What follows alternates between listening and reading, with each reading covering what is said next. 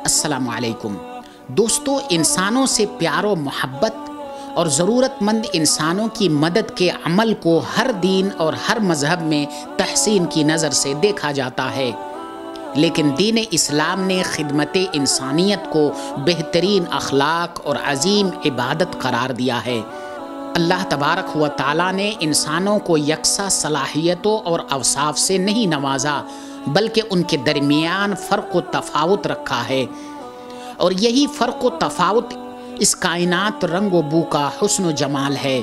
وہ رب چاہتا تو ہر ایک کو خوبصورت، مالدار اور صحت یاب پیدا کر دیتا، لیکن یہ شان خداوندی کے خلاف ہوتی۔ اور جس امتحان کے خاطر انسان کو پیدا کیا ہے، شاید اس امتحان کا مقصد بھی فوت ہو جاتا۔ اس علیم و حکیم رب نے جس کو بہت کچھ دیا ہے، اس کا بھی امتحان ہے، اور جسے محروم رکھا ہے، اس کا بھی امتحان ہے۔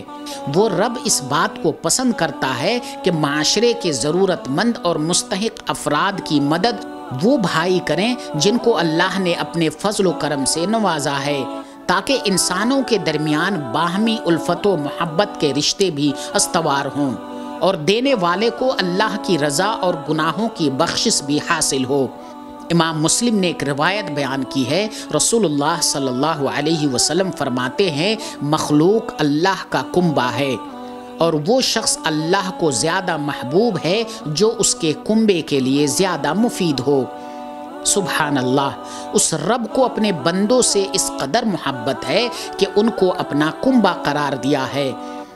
حالانکہ وہ سبوح اور قدوس ذات ہے۔ اسے کسی کنبے کی ضرورت اور احتیاج ہرگز نہیں۔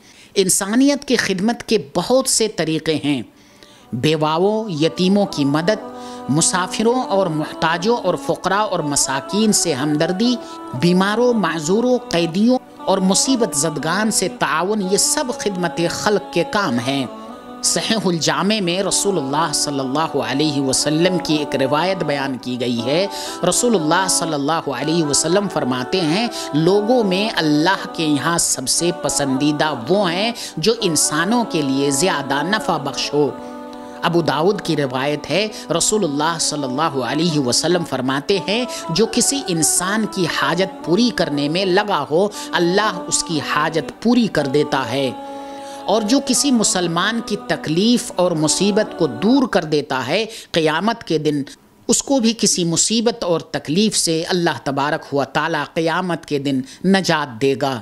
اسی طرح امام ترمیزی نے ایک روایت بیان کی ہے، رسول اللہ صلی اللہ علیہ وسلم نے فرمایا، تم زمین والوں پر رحم کرو، آسمان والا تم پر رحم فرمائے گا۔